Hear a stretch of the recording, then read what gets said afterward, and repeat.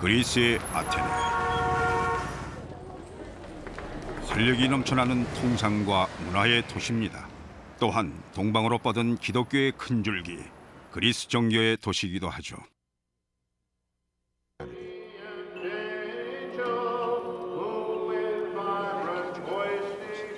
그러나 이곳에 지금은 그 부슬기만 남아 애를 태우는 또 다른 세계가 있었습니다. 똑같이 활기차고 똑같이 신앙심 깊었던 고대 그리스인들의 또 다른 세계를 찾아 땅 위에서도 밑에서도 탐색이 계속되고 있습니다.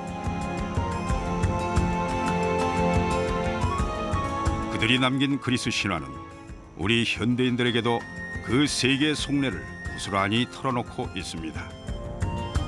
저마다 특별한 권능을 지닌 수많은 남녀 신들을 등장시켜 각자의 내력과 활동을 엮어내고 있는 그리스 신들의 이야기는 성서 시대가 열리기 훨씬 전부터 입담 좋은 이야기꾼들에 의해 수천 년 동안 전해져 왔습니다. 무척이나 어려운 일이긴 하지만 사람들은 늘 옛날은 어땠을까 상상들을 하죠. 어려서 좋아했던 신들 이야기라면 어, 두통을 앓던 제우스 머리에서 아테나가 나왔단 이야기를 한참 동안 신기한 기억이 나는군요.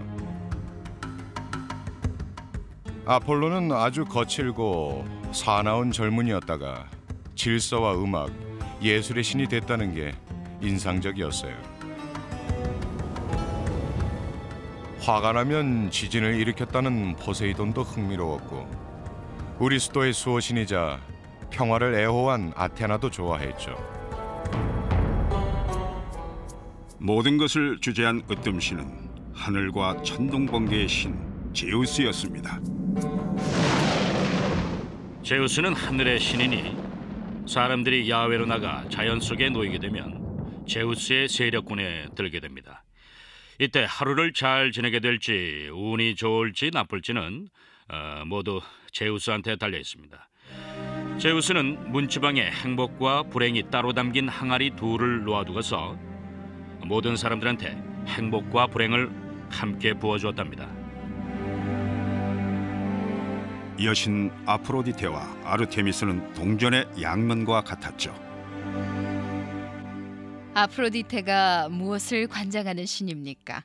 바로 사랑입니다. 성의 신이면서 또 미의 신이기도 하죠. 다산과 번식력하고도 많은 관련이 있고요. 그 반대편에 아르테미스가 있습니다. 아르테미스는 순결하기 그지없는 처녀죠. 그리고 아폴론에겐 고대 그리스의 모든 남녀 신들처럼 여러 가지 능력이 있었습니다. 아폴로는 문명을 일으키고 주관하는 역할을 하죠. 길이 없던 곳에 길을 놓아준 것이 그였습니다. 치료의 신이면서 역병을 몰아올 수도 있었는데 이런 양면성은 그리스 신들에게서 흔히 나타납니다. 병을 줄 수 있으면 약도 줄 수 있다는 식이죠. 거리를 두어야 하는 신 아폴론이라고 어, 아주 기막히게 표현한 말이 있더라고요. 이 신은 사람들과 대면하거나 접촉하는 법이 없거든요. 사람들을 벌할 때는 멀리 떨어져서 활을 쏘는 편이었죠. 어, 아폴론의 사랑을 구할 때도 아마 떨어져 있어야 했을 겁니다.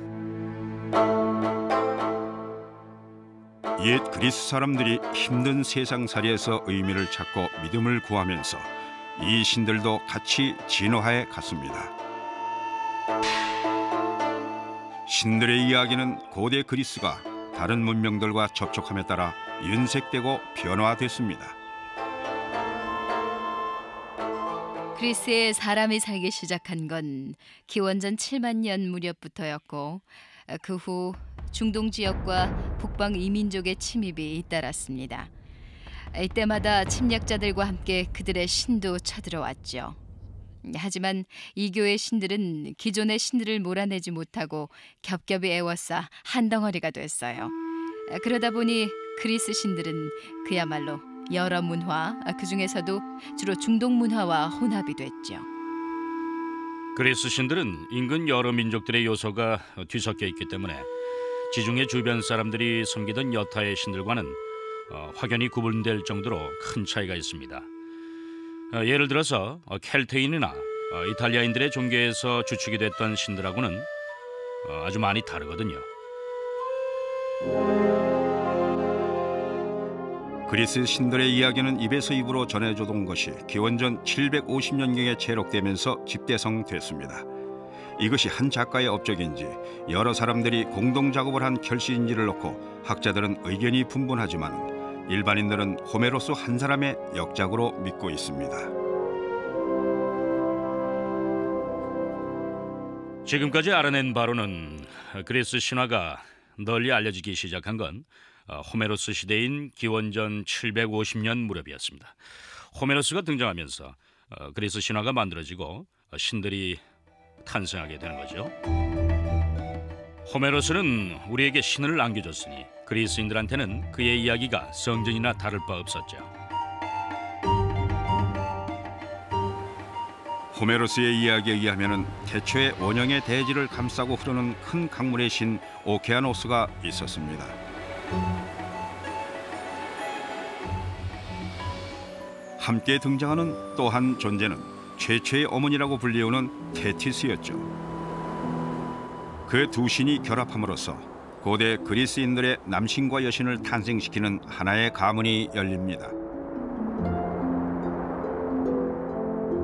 호메로스 이후 50년쯤 지나 시인 헤시오도스가 쓴 신들의 계보에도 그리스 신들의 탄생에 대한 글이 들어 있습니다. 그러나 헤시오도스가 그린 태초의 모습은 호메로스와는 달리 카오스라 불린 초자연적 존재에서 시작되는데 이때의 카오스는 혼돈이 아니라 텅 비어 있다는 의미였습니다. 먼 옛날 카오스가 있었어요. 그리고 카오스 후에 대지의 여신 가이아가 있었죠. 가이아는 하늘인 우라노스를 남편으로 맞아들입니다.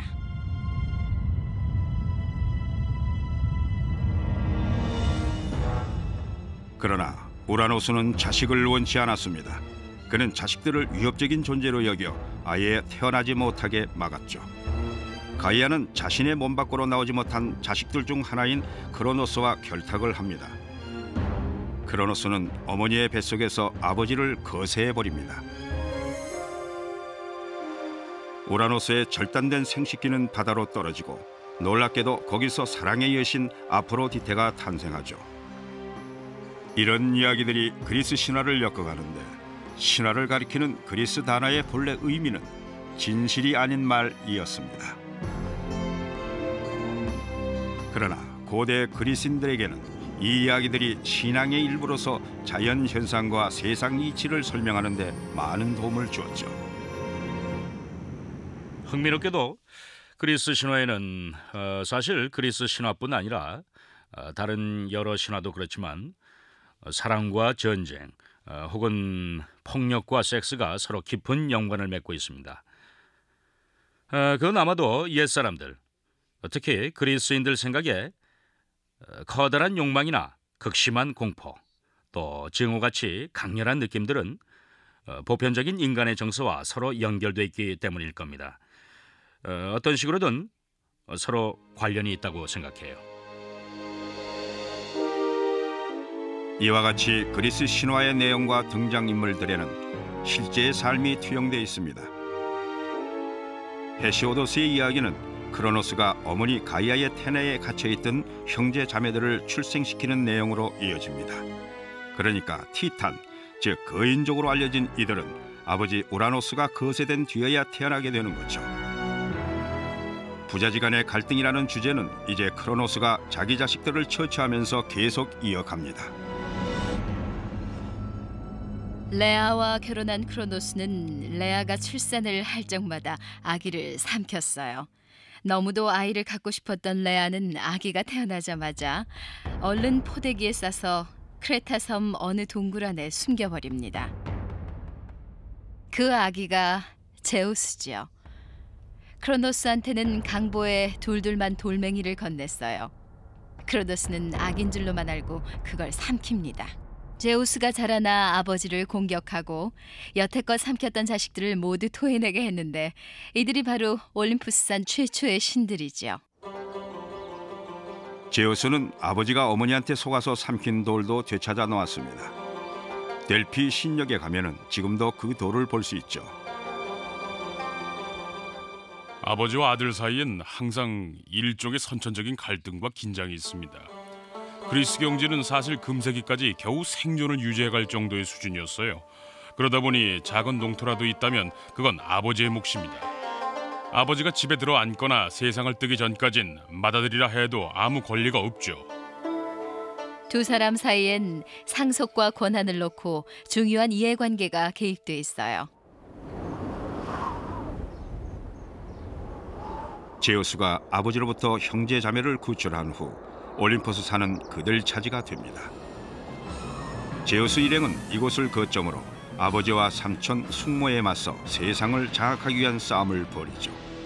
마침내 올림포스 신들이 티탄족을 무찌르고 나자 하늘의 신이기도 한 제우스는 그들의 왕으로 인정받습니다. 아직까진 인간이 등장하지 않았지만은 이제 곧 세상을 어지럽히며 도발을 일삼는 인류가 출현하게 됩니다.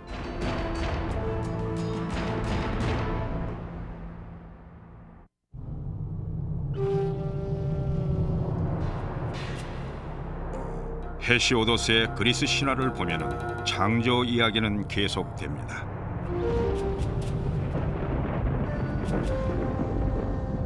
여러 세대에 걸친 신들 간의 싸움은 모두 인류가 우주에 나타나기 전에 벌어진 일이죠.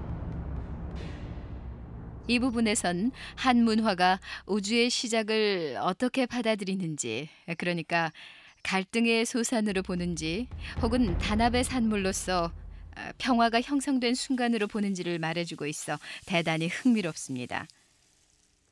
개인적으로 전 그리스 신화를 연구하고 또 가르칠 때마다 끈질기게 이어지는 이런 대립에 압도당합니다. 티탄족을 무찌른 후 으뜸신 제우스는 메티스와 결혼합니다. 메티스는 티탄족이라 제우스에겐 고모뻘이 되죠.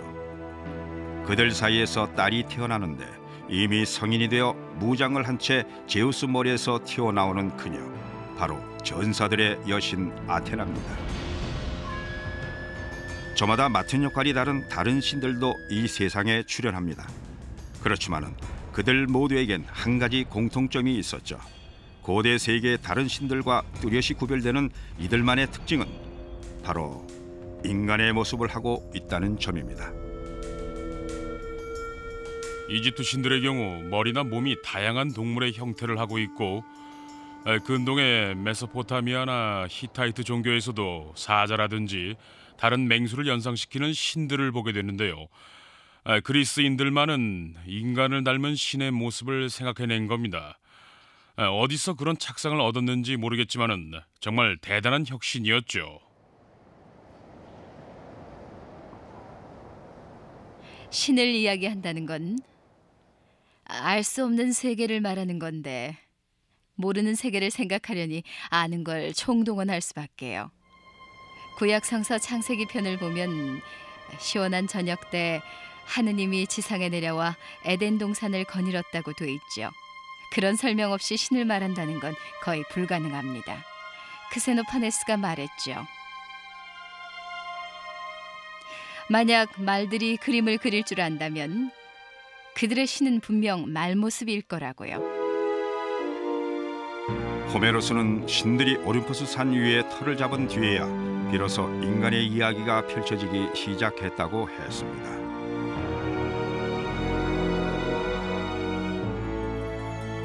구약이 전하는 창세기 이야기에는 하느님이 인간을 마지막으로 창조하고 이 땅의 모든 생물을 지배하도록 했다고 나와 있죠. 그러나 고대 그리스인들은 인간의 탄생을 별로 중요하지 않은 사건으로 여겼습니다. 그리스인들의 우주관이 인간 중심적이긴 하지만 어, 인간에 대한 이들의 견해는 나중에 덧붙여 놓은 수준에 불과했습니다. 어, 신들보다 시시하고 대단치 않은 존재였으니까 어, 그리스라는 우주와 올림포스 신들의 세계에서 인간의 창조는 뒤로 밀릴 수밖에 없었겠죠. 어, 근데 어째서 이들은 인간의 출현을 어, 그렇게 하찮게 여겼을까요?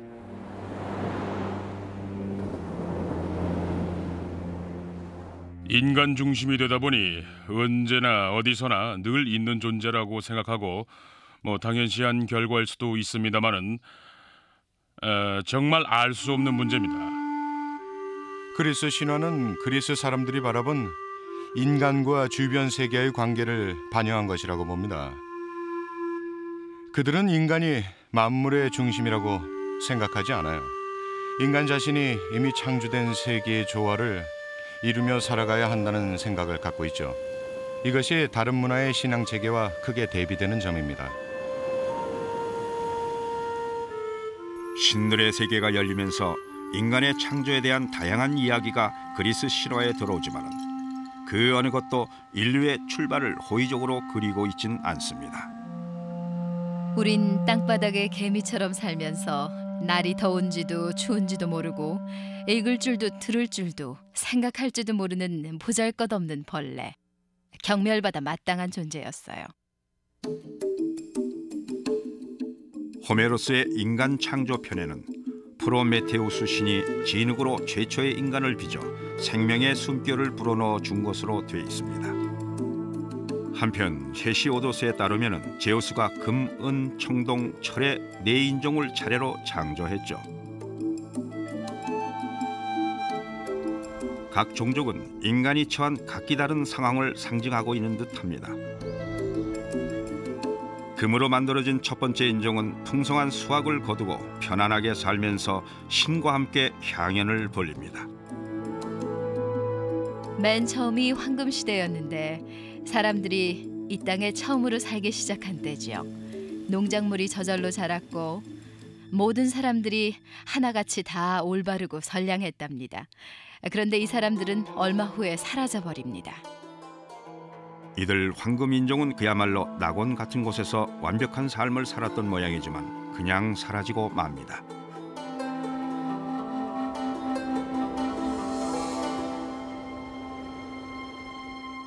구약 성서에서는 에덴 동산의 아담과 이브가 하느님의 은총을 잃게 된 데서 인생의 고달픔이 비롯됐다고 설명하고 있습니다.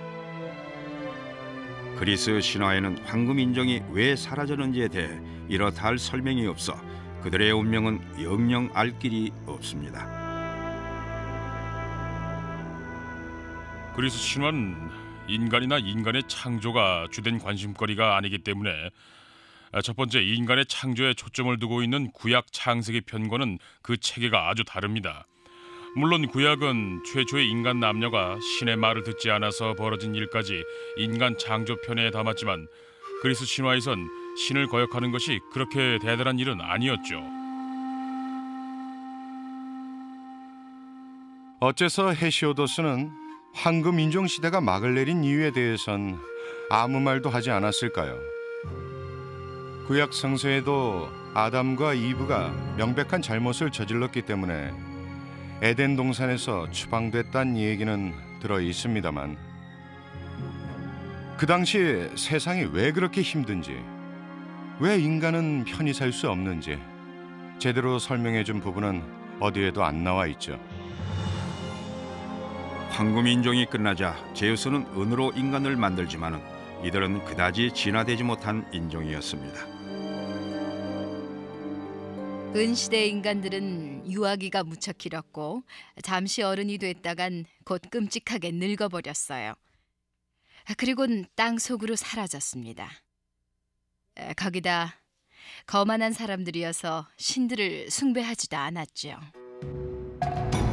그 뒤를 이은 청동 인종은 전쟁을 일삼다 멸망하고 맙니다. 드디어 그 다음에 또 한 인종이 출현해 현세까지 살고 있는데 바로 철로 만들어진 인종이죠.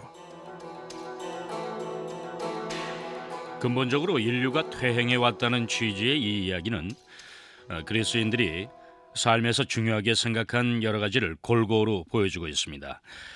아, 예컨대 신을 대하는 태도며 어, 자기네 도시국가를 지키기 위한 전쟁에 임하는 자세, 또 서로 간의 화합 등에 대한 시각을 드러내고 있죠. 흥미롭게도 이 모든 이야기들은 인류의 창조를 설명하면서 그그 절반인 남성만 다루고 있습니다. 여성은 모두 속임수를 쓴 남자들을 괴롭히기 위한 징벌 방편으로 등장하죠. 최초의 여성은 인류를 벌하기 위해서 땅으로 보내졌습니다. 대단한 여성 혐오 증세가 느껴지는 대목인데요. 어, 헤시오도스가 기원전 700년대의 사람인 걸 감안을 해도 아, 정말 놀라운 발상입니다. 어, 이야기는 신들 중 하나인 프로메테우스가 전 우주의 왕인 주신 제우스를 속이려 했다고 돼 있죠. 프로메테우스는 미리 생각하는 자라는 그의 이름처럼 영리한 책략가죠. 그는 양을 한 마리 잡아서 좋은 살코기는 모두 발라 지저분한 내장 속에 꼭꼭 채워 넣고 추려낸 뼈는 반들반들 윤기도는 하얀 기름덩이로 쌉니다. 아, 물론 태워서 제물로 바칠 거죠. 이 두 뭉치를 제우스 신 앞에 내놓고 폐하 고르소서라고 했어요. 제우스는 인류의 대리자인 프로메테우스가 자신을 속이고 있다는 걸 꿰뚫어 보고는 그 보복으로 인간들을 벌하여 불을 빼앗아 버립니다. 그러자 프로메테우스는 다시 불을 훔쳐와 인간들에게 되돌려 주죠.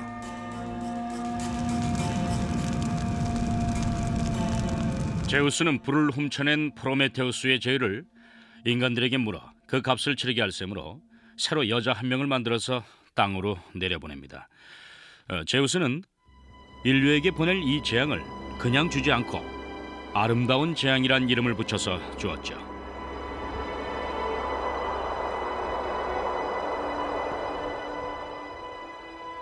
여자는 꼭 필요한 존재면서도 그리스어로 칼론 키콘 즉 아름다운 재앙이었습니다.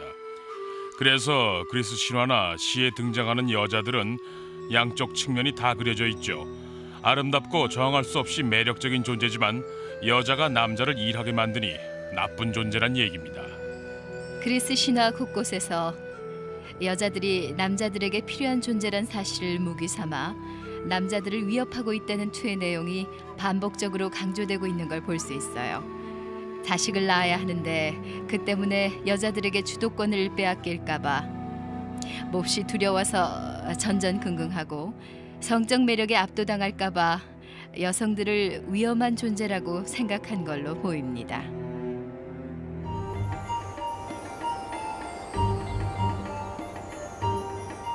그리스 신화에 나오는 인류 최초의 여자 판도라 이야기는 에덴 동산의 이브와 금단의 열매 이야기로 되살아납니다.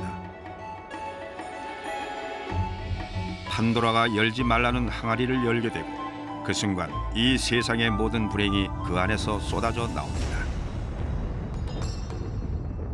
온갖 질병과 고통, 고난이 다 나왔죠. 얼른 뚜껑을 덮었지만 때는 이미 늦어서 희망 하나만 남아 있게 됩니다. 그런데 재앙으로 가득 찬 판도라의 항아리 안에 희망은 대체 왜 들어 있었을까요? 희망이 화를 불러일으킨다니 기발하고 재밌는 발상이지요.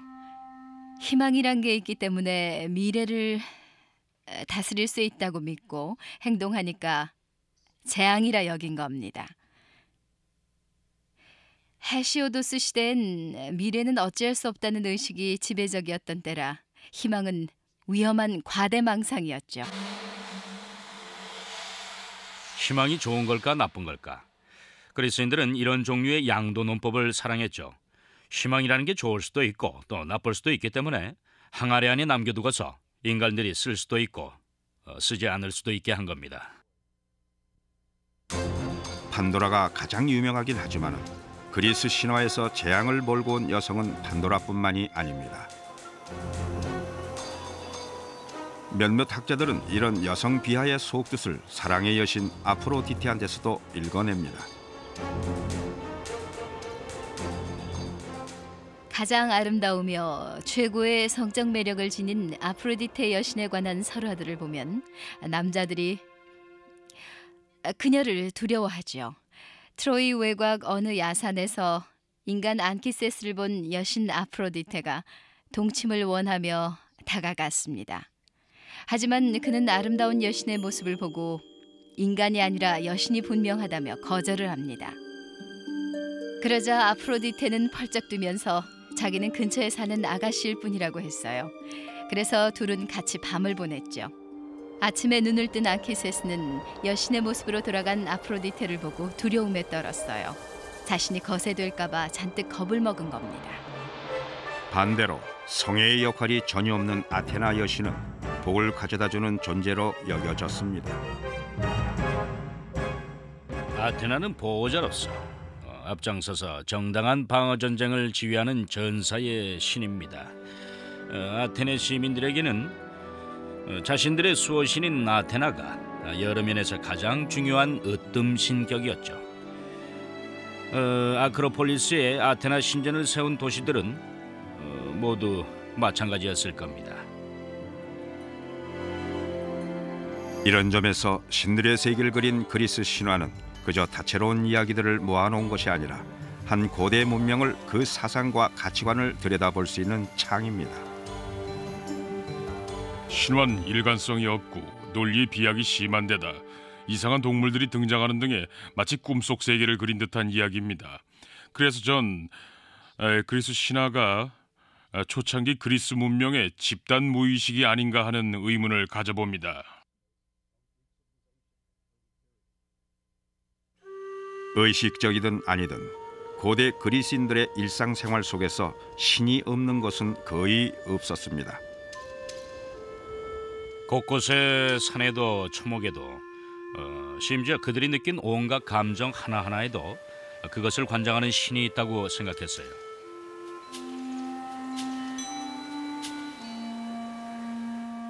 그리스인들의 종교는 처음부터 에, 그 환경에 반응을 보인 점이 독특하고 흥미롭습니다. 일례로 어, 님프만 해도 물의 요정이 있고 산에 사는 요정, 나무의 요정들이 다 따로 있죠. 하천도 일종의 신성한 힘을 가진 숭배 대상이었어요. 에, 그리스인들의 신앙은 이런 식으로 어, 자연의 모든 부분이 가치가 있고 어, 신성하고 거룩하다고 여겨서 현대 생태학의 원적격이라고 볼 수도 있습니다. 그리스인들은 신성함을 나타내는 특별한 용어를 여러 사용했습니다. 어, 그 중에 하나가 어, 헤로스라는 건데 헤로스는 신의 것이란 뜻이죠. 또 그리스어로 종교는 타이란데 신에게 바친 거룩한 물건이란 의미입니다. 그리스 신화는 인간의 힘으로 어찌할 수 없는 세상사를 많이 다루고 있습니다.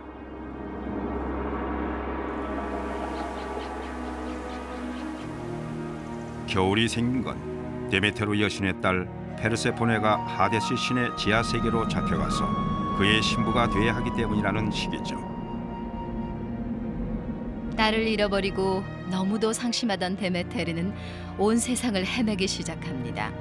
딸을 찾지 못해 울며 불며 다닌 통에 곡식이 자라질 못하니 신들이 재물을 받지 못했어요. 그래서 마침내 몇몇 신들이 제우스를 찾아가 우리도 재물을 받고 인간들도 살아남을 수 있게 페르세포네를 돌려보내라고 건의했죠. 드디어 페르세포네가 어머니 품에 돌아올 수 있게 되지만 조건이 하나 있었습니다. 해마다 석 달은 하데스와 함께 지내야 한다는 거였죠. 바로 이 시기 동안 농업의 여신인 데메테르가 슬픔에 잠겨 있기 때문에 겨울 추위가 닥치고 들판에 아무것도 자라지 못한다는 설명입니다. 삶의 큰 고난들은 이런 식으로 설명해 가지만 개인적인 불행은 신들의 비유를 거슬린 탓으로 해석되는 경우가 많습니다. 신들의 노여움을 사게 되면은 지상의 그 어떤 권위자도 아닌 신들이 직접 징벌을 가합니다.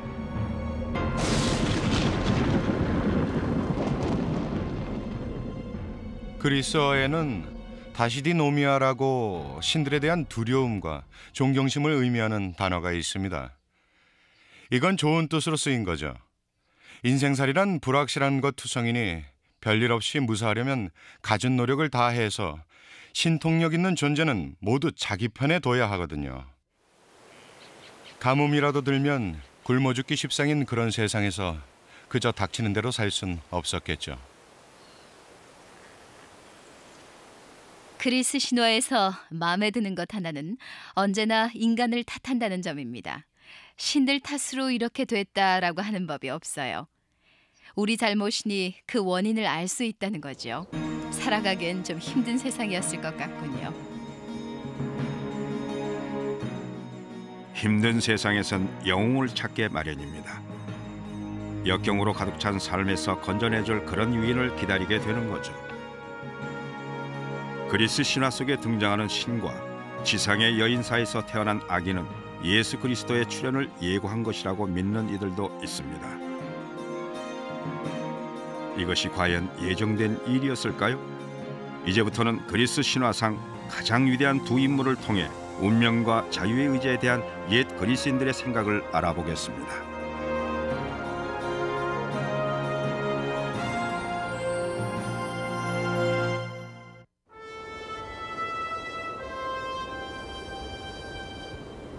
그리스 신화에서 가장 유명한 인물 중 한 사람인 헤라클레스는 인류 역사의 중심축을 이루게 될 사건의 털을 닦아 넣었다고 볼 수 있습니다. 헤라클레스는 으뜸신 제우스가 지상의 한 여인에게 반해 태어나게 되죠.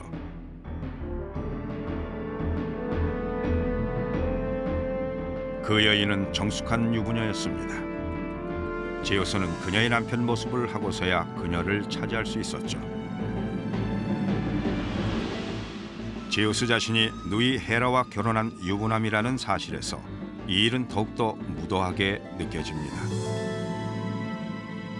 그리스인들은 신들이라고 해서 항상 정직하거나 항상 윤리적이지 않다는 생각을 수세기 동안 해왔는데 그 생각은 나름대로 일리가 있는 것 같습니다. 신들이 인간적이라 해도 훨씬 더 풍족하고 막강하며 대단한 능력을 지닌 데다 영원히 죽지도 않으니 어떤 행동을 하건 그 결과에 책임지지 않아도 됐죠.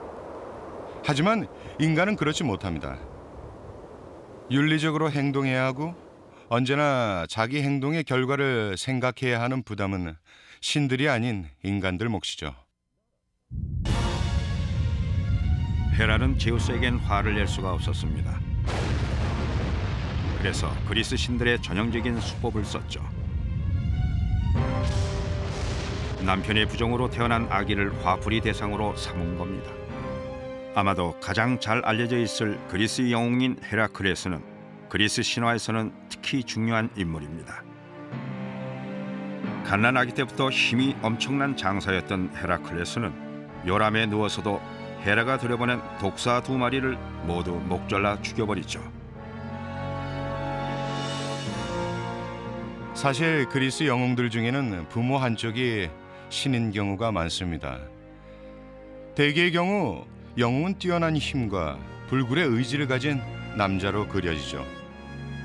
그들은 일생에 걸쳐 수없이 많은 업적을 이뤄내는 탁월한 인물이지만 인생 행로가 험난하게 이를 데 없다는 점이 특징적으로 나타납니다.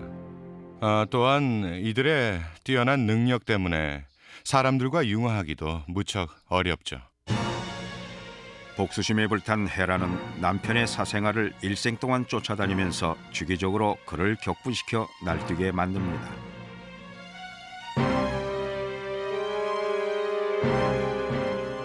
헤라클레스는 이때 저지른 살인과 난동을 깊이 뉘우치며 폭군과 괴물을 처치하는 일대의 몸을 감행함으로써 회개합니다.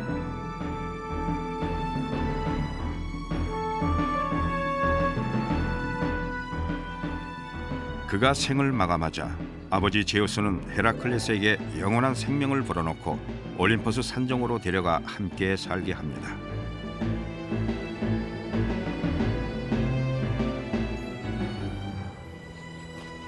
이 헬라클레스 얘기가 수세기 후에 그리스인들에게 새로운 신앙을 전해준 사도 바오로의 등장을 예정했을 수도 있습니다. 신의 아들 헤라클레스가 이 땅에서 고난의 삶을 살았고 죽어선 신이 되어 올림포스로 갔다는 이야기가 이미 있었으니 고통 속에 살다 죽어서 하늘나라로 간 또 다른 신의 아들 이야기가 그리 낯설진 않았을 겁니다. 마찬가지로 신이 우리들과 똑같은 인간의 모습을 하고 있다는 생각은 이교 신앙을 가진 그리스인들도 전적으로 수용할 수 있는 것이었죠. 따라서 그리스로 들어간 초기 기독교가 뿌리를 내리기가 쉬웠습니다. 기독교와 아무 상관은 없지만 고난과 박해를 받던 헤라클레스가 노고와 충절을 통해 신성을 얻었다는 점에서 기독교적 요소가 있다고 볼 수도 있겠죠. 헤라클레스는 독보적인 존재이면서도 그리스인들의 숱한 영웅들 중 한 사람일 뿐입니다. 트로이 전쟁의 영웅 아킬레스와 오디세우스도 있고 그리스 젊은이들을 잡아먹었다는 무시무시한 괴물 미노타우루스를 죽인 테세우스도 있죠.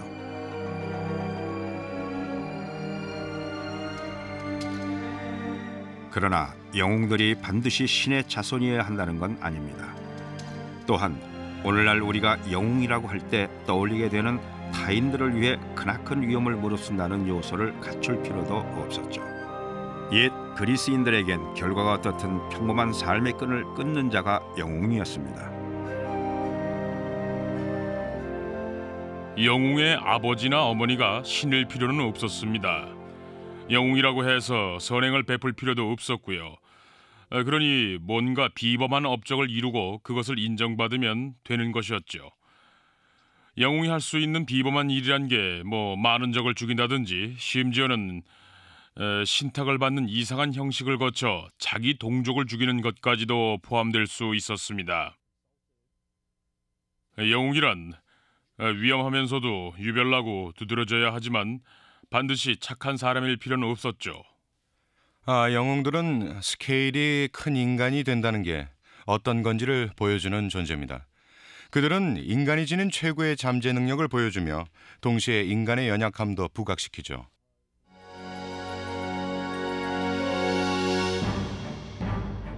허구의 인물 임직한 또 한 사람의 영웅 오이디푸스는 아버지를 살해하고 친어머니와 결혼합니다. 자신을 덮친 그 끔찍한 운명이 제 몫을 다하자 그는 스스로 두 눈을 멀게 하고 구원을 찾습니다. 이것은 부모 자식 간의 감정에 들이온 그늘을 언급한 옛날 이야기입니다. 그리스 신화 더 나아가 그리스 문화에는 아버지와 아들 사이에 빚어지는 갈등에 대한 관심이 면면이 이어져 왔습니다. 어, 지그문트 프로이트는 이 점을 간파했고 어, 오이디푸스 이야기를 채택해서 오이디푸스 컴플렉스 이론을 전개시켰죠. 또 그리스인들이 두려워하면서도 동시에 현실로 받아들인 세대 간의 갈등도 전통과 나란히 이어져 왔다고 생각됩니다. 오이디푸스와 부모의 이야기는 아주 오래된 또 하나의 물음을 던져놓습니다. 인간의 삶은 가는 길이 미리 예정된 것일까요? 아니면 인간들에겐 자유의 지를 행사할 힘이 있을까요? 오이디푸스는 아버지를 죽이고 어머니와 결혼하게 된다는 운명을 아무 이유도 없이 그냥 짊어지게 됩니다. 아버지로만 알고 있던 코린토스의 왕이 친아버지가 아니라는 사실을 알게 된 오이디푸스는 나는 우연의 자식이로구나 하고 말하죠. 여기서 그가 말하는 우연이란 아, 아무 예정에도 없이 어, 그저 어쩌다 일어난 일을 의미합니다. 이야기가 끝날 무렵에 가면 그의 모든 행위는 예정되어 있던 그대로라는 게 밝혀지죠. 그가 우연히 태어났다 해도 그 또한 그의 운명이었던 것입니다. 인간 오이디푸스는 선택을 했어요. 아버지를 죽이고 어머니를 아내로 맡게 될 운명임을 알게 되자 자기가 양자인 줄도 모르고 집에서 멀리 달아났죠. 아, 그리곤 길에서 만난 친아버지를 죽이고 도시로 들어가 어머니와 결혼을 해요. 집을 떠나온 건 자신의 선택이었어요. 끔찍한 폐륜을 저지르지만 의도적인 건 아니었죠. 운명이 시킨 게 아니었습니다.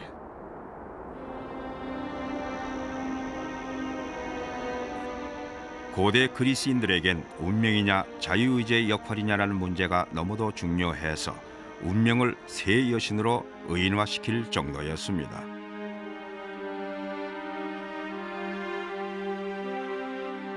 호메로스의 시를 읽어보면 두 가지 이야기가 나옵니다. 그 하나는 운명의 여신이 셋인데 이름이 클로토, 라케시스, 아트로포스죠. 각각 시를 잣고 길이를 정하고 늦춰주지 않는다는 뜻입니다. 사람이 태어나면 운명의 여신들이 생명의 시를 자아주어 삶이 언제 끝날지를 결정짓습니다. 다른 하나는 운명이 신들보다 더 높다는 것으로 신들이 운명에 복종한다는 구절이 여럿 나와 있죠. 오이디푸스 이야기를 두고 운명을 이야기해 볼 수 있습니다. 그는 아버지를 살해하고 어머니와 결혼하도록 운명 지어졌죠. 이것이 그에겐 자유의지가 일체 없었단 뜻일까요? 그건 아닙니다. 단지 그 일이 일어날 예정이었단 뜻일 뿐이지요. 그리스인들은 복잡한 세계관을 갖고 있었습니다. 신들이 인간의 행동을 일일이 지배하거나 어, 영향력을 행사하면서도 다른 한편에서는 인간들이 어, 자신의 운명을 스스로 관리하고 예견할 수 있었죠. 그러다 보니까 신들이 지배하는 것과 또 인간들이 지배하는 것 사이에 재미있는 관계가 성립되어 있었습니다. 어, 그들은 바로 어, 이 모함을 사랑했던 거죠. 이렇게 해서 옛 그리스인들은 인생에서 확실히 보장된 건 없다는 사실을 받아들였죠. 이러한 생각은 오늘날에도 널리 퍼져 있습니다. 이 땅에는 너무 많은 사람들이 살 수 없다는 어, 그리스인들의 의식은 신화에도 잘 표현되어 있습니다. 어, 트로이 전쟁의 시작 부분을 보면은 대지의 여신이 사람들을 너무 많이 짊어지게 되자 제우스에게 짐을 덜어달라고 소리쳤습니다. 그래서 제우스가 많은 사람을 처치하려고 트로이 전쟁을 생각해냈다고 돼 있죠. 그리스 신들은 결점과 단점을 가진 불완전한 신들이었습니다. 고대 그리스 사람들은 어떻게 해서 이 불완전한 신들을 완벽하다고 여겼을까요?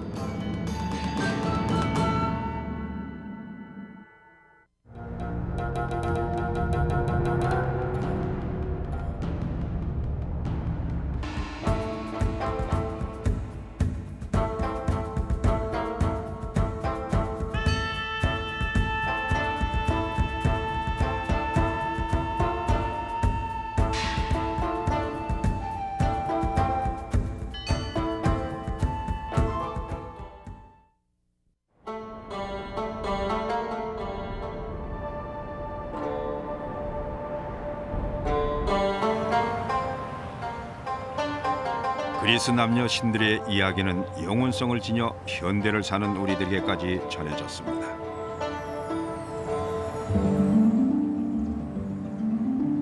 그 신들 가운데는 올림포스 산중에 살던 아름다운 자매 신들 카리테스와 무사이가 있었죠.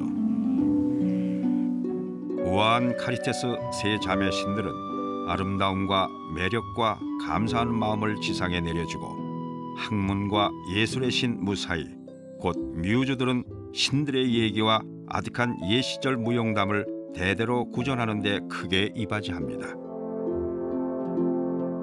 그들은 지상으로 내려와 역사와 천문학 예술을 가르쳤습니다. 아홉 명의 뮤즈 여신들은 각각 예술과 과학의 특정 분야와 관련이 있습니다. 예를 들어 선원자 클레오는 서사시를 다루는 역사의 뮤즈죠.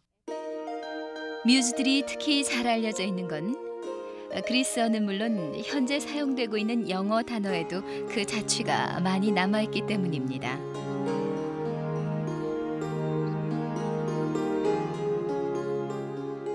그리스 신화는 사람들이 중요하다고 여기는 것들을 다루고 있는 이야기입니다. 그렇지 않다면 이토록 오래 남아있지 못했겠지요. 설화가 수천 년에 걸쳐 계속 전해지려면 어느 시대 사람이 들어도 의미가 있는 그런 내용이어야 합니다. 신의 흔적은 도처에 남아 있습니다. 그리스 사람들에게 신들은 그들이 경작하는 들판과 부양하는 자식들만큼이나 현실적이었죠. 도시 전역에 있던 작은 성소와 신들에게 봉헌된 건물들 그리고 대규모 신전들의 수를 보면 그리스인들의 굳건하고 열성적인 신앙심을 알 수 있습니다. 인생살이를 불확실한 것으로 본 이상 아무 탈 없이